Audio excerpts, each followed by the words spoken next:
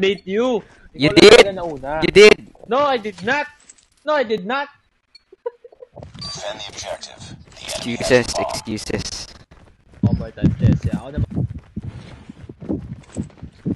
It was at this moment that he knew. He fucked up. Putang ina yan!